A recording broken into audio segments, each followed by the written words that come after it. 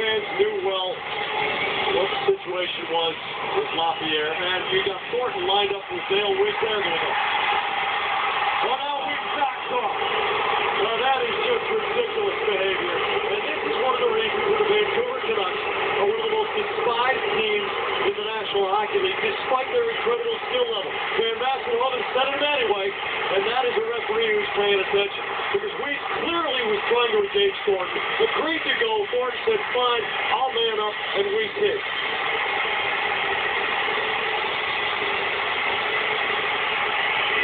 Uh, just more arrogance from the Canucks.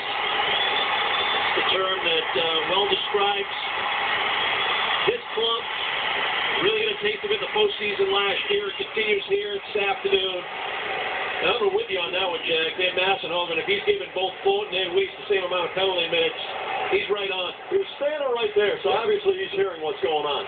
He said, you guys got to wait. They drop it. Thornton says, fine. And Weise says, okay, I'll try to get my team a power play. Come on. Yeah, two minutes each, which I like that it's not more than that.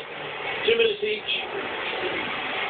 What surprised me, Brick, during last year's Stanley Cup final was how many Canadians wanted the Canucks not to win the Stanley Cup.